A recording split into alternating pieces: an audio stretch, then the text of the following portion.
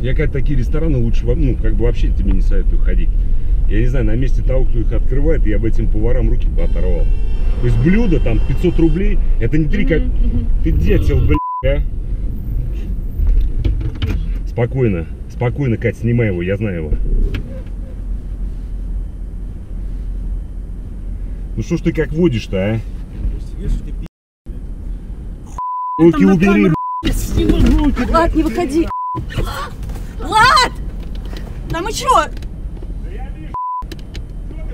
Чё? Вы что делаете? Уйдите от него!